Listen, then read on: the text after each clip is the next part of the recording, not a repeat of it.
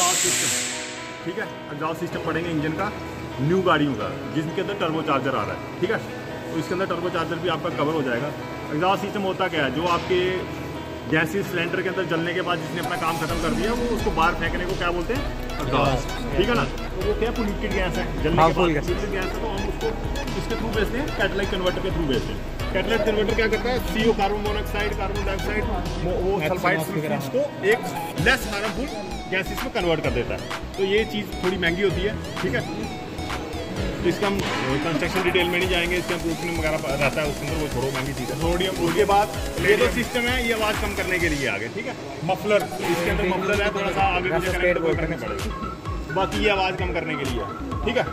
अब मेज ये आवाज़ कम कम करने के लिए है थोड़ा सा।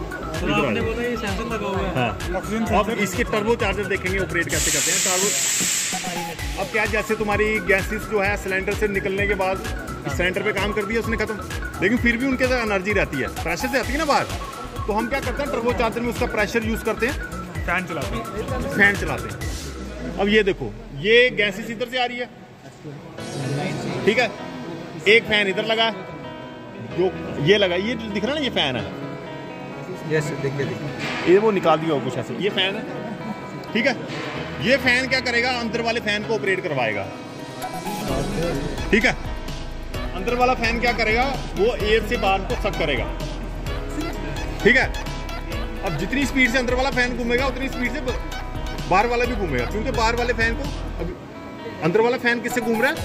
एग्जॉस्ट गैस से दूसरा फ्रीली मूव कर रहा है। दूसरा क्या फ्रीली मूव कर रहा है लेकिन उसको हमने कहाँ पे कॉन्टैक्ट रखा है? एयर एयर एयर इनलेट के साथ कनेक्शन ले रखा है। एयर इनलेट से वो हवा खींचेगा साफ़ हवा खींचेगा जिसके अंदर ऑक्सीजन तो सिलेंडर में फेंकेगा। जितनी तेज तुम एक्सेलरेट करोगे इतनी तेज़ी से वो बाहर से हवा खींचेगा। ये ऑक्सीजन सेंसर है हवा के अंदर जो ऑक्सीजन है उसको देखेगा। ठीक है?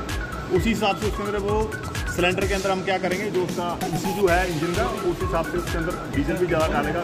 डीजल है तो डीजल डालेगा पेट्रोल है तो पेट्रोल डालेगा। तो उससे क्या है कि इंजन जो है कम सिलेंडर में बहुत ज़्यादा पावर आउटपुट जनरेट कर रहे हैं। क्योंकि एयर एयर भी प्रेशर से जा रहा है स्पीड से जा रहा है ना एयर ऐसे तुम बिना इसके जाएगा तो वो आराम से थोड़ा सा वैक्यूम से खींचेगा। लेकिन जब प्रेशर से तुम जैसे मारते हो पंप मारते हो उससे क्या कि उसके अंदर ऑक्सीजन ज़्यादा जा रहा है। ऑक्सीजन ज़्यादा जाएगा अगर इंजन के अंदर डीजल में हम ज़्यादा डालेंगे तो पावर आउटपुट ज़्यादा प्रोड्यूस हो जाएगा। हवा अंदर ज़्यादा जाएगी तो हवा में ऑक्सीजन भी ज़्यादा प्रेशर से हम क्या कर रहे हैं उसमें अंदर एयर भी डाल रहे हैं और फ्यूल भी डाल रहे हैं। उसके क्या कि सिलेंडर के अंदर छोटे सिलेंडर में ज़्यादा प्रेशर जनरेट हो जाता है पावर ज़्यादा प्रोड्यूस हो जाता है। बस उसमें चलो। दोनों फ़ैन जो हैं, एक ही शाफ्ट के ऊपर होते हैं और टर्बो चार्जर नॉर्मली घूमता है 2000 आरपीएम से ऊपर ऊपर तो 20000 आरपीएम तक जाता है, इसलिए इसका वेरियंट ईयर बहुत ज़्यादा हो सकता है, अगर इसमें ऑयल सप्लाई नहीं दी गई हो। तो इसकी जो ऑयल सप्लाई है, जो इंजन के ऑयल लाइन के साथ ही जोड़ी होती है, ताकि इसका वेरियंट ईयर नहीं हो।